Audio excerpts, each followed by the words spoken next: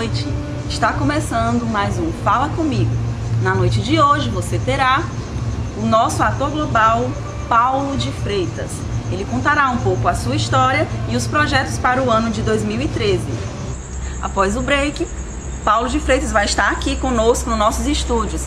E você, chame a vizinha ou vizinho, vamos gente, vamos assistir, vem com a gente sentar na poltrona e conversar com Paulo de Freitas.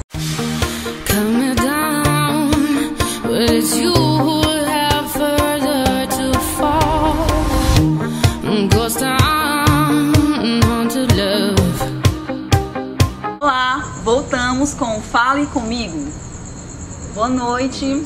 Já estamos aqui nos nossos estúdios com o ator Pedro de Freitas. Paulo de Freitas. Ah, Paulo, Paulo né? de Freitas. Ah, perdão. Paulo, me diz uma coisa, como é que tá sendo encarar esse vilão nessa novela das oito, da, é novela que tá dando muita audiência, né? Você, como vilão, tá tendo um carinho muito grande do público. Como é que tá sendo isso? Nossa, eu não sou muito.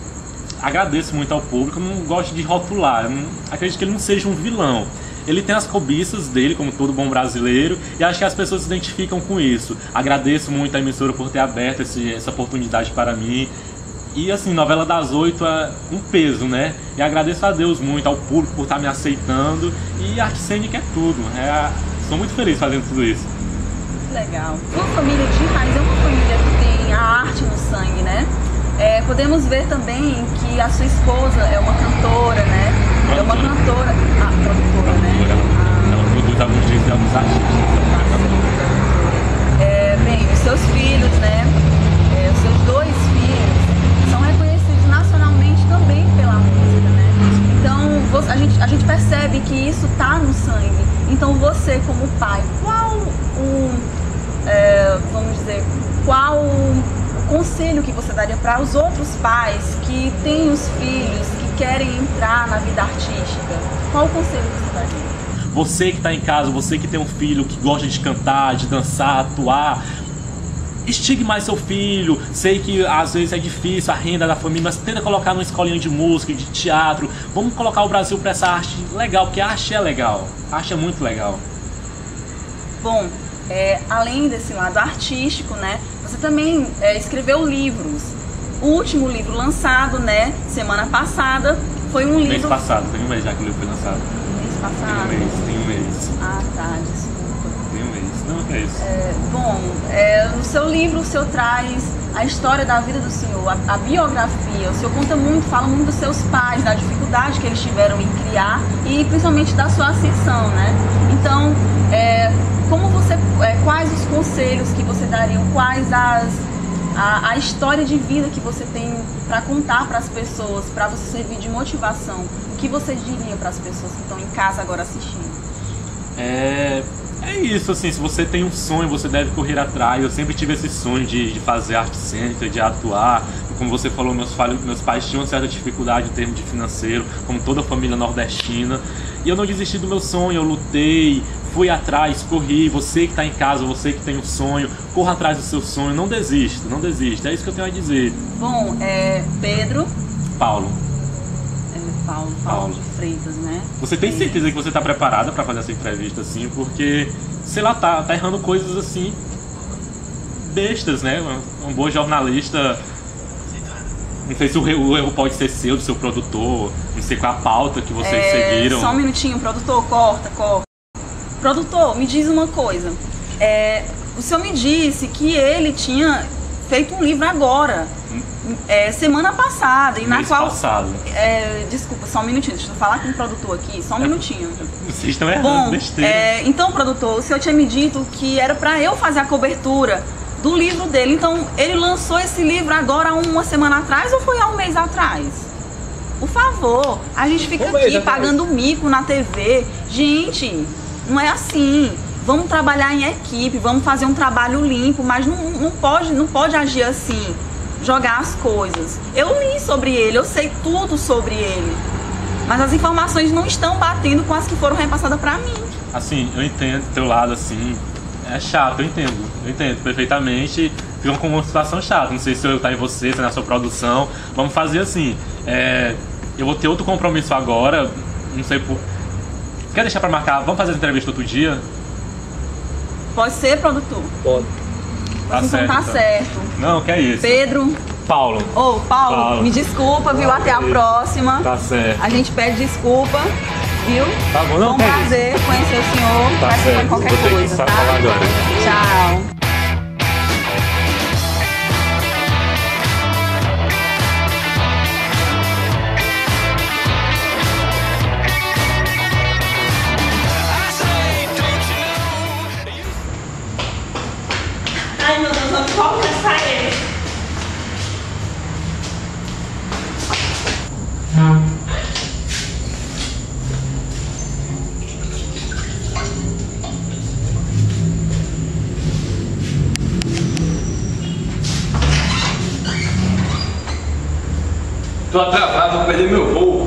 Eita.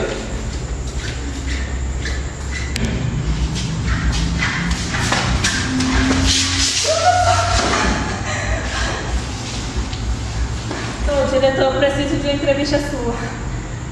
Eu já rodei os quatro cantos dessa cidade e não encontrei o senhor, só encontrei aqui. Eu preciso dessa entrevista para o portal onde eu trabalho. Cinco minutos, diretor, por favor. Não, cinco minutos nada não. Não, cinco minutos eu vou perder meu voo. Por favor, diretor, só são cinco minutos, eu prometo. Se eu der cinco minutos pra ti, eu vou perder meu voo pro Japão pra ver o Corinthians. Só cinco minutos, eu prometo. É super rápido. Tá. Diretor, como é para para o senhor dirigir a escola que teve o menor índice de aprovação no vestibular aqui na cidade de Picos?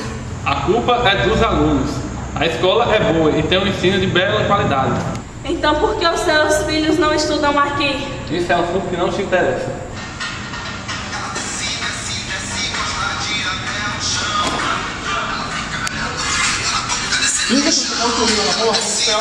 Não, diretor, eu vou fazer mais uma pergunta, por favor, volte aqui.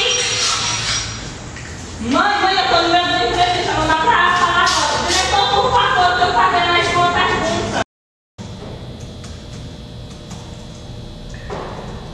Deixa eu ver como ficou esse áudio, a minha chefe quer isso pra ontem. Eu não acredito que o gravador estava desligado, que eu perdi toda a entrevista do diretor. Meu Deus,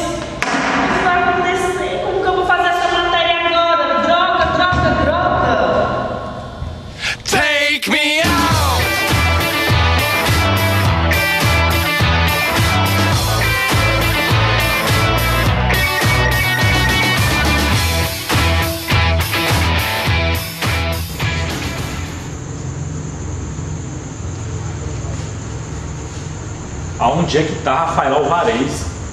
Repórter incompetente. Cadê o profissionalismo desse pessoal? Parece que não vai pra uma academia. Ligar pra ela.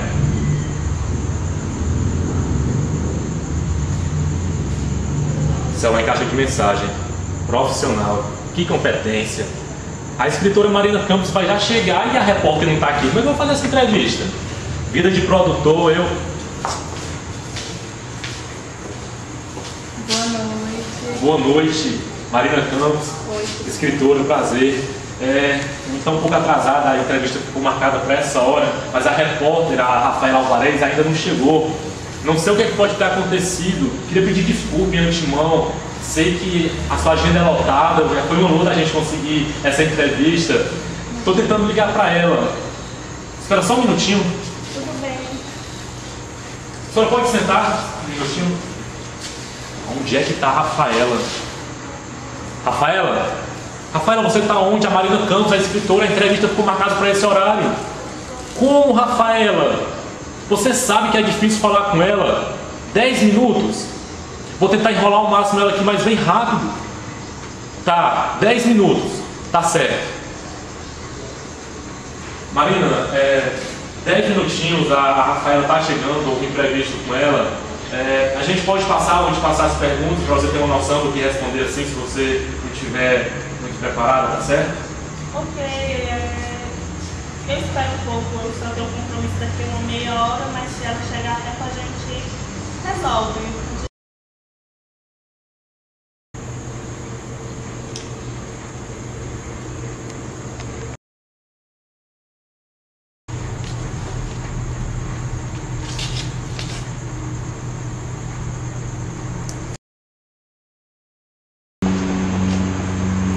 Acho que não chega. Já se passaram 20 minutos e só eram 10. Meu Deus do céu. Eu vou acabar perdendo outro compromisso. Eu fiquei aqui aguardando ela.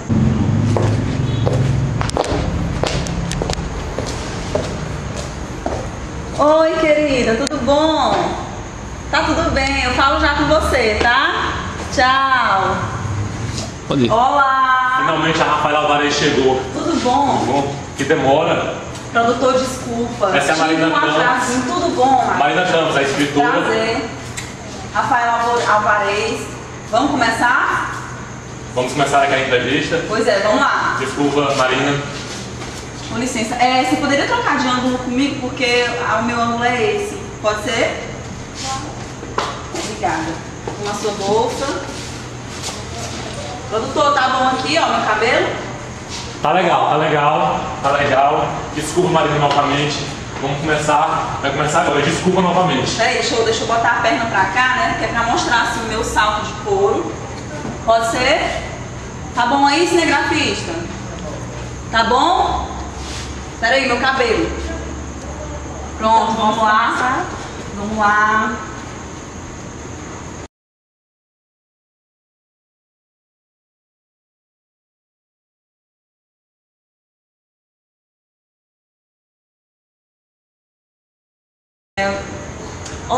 Pessoal, vamos começar agora uma entrevista exclusiva com simplesmente Marina Campos. É, isso mesmo, Marina Campos, a escritora da- do livro mais vendido do Brasil.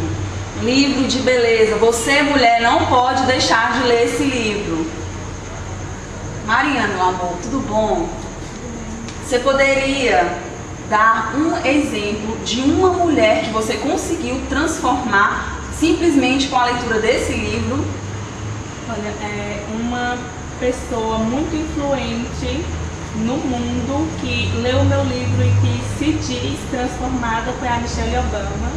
Ela leu meu livro e ela disse que depois dessa leitura ela mudou completamente o modo de pensar, de agir e também é, a sua beleza interior e exterior. Meu amor, a Michelle Obama, amiguíssima minha. Conheço demais, já fui lá na Casa Branca e tudo. Eu tô vindo agora de Nova York, sabe? Aí eu, inclusive, até dei uma passadinha lá pro Washington, mas amiga de infância, você tem que conhecer. Ótima pessoa, se veste super bem, minha filha. Você tem que ver. Gente, a gente vai dar uma paradinha agora pro comercial, já já a gente volta, tá? Beijo, beijo. Já já. Take me out.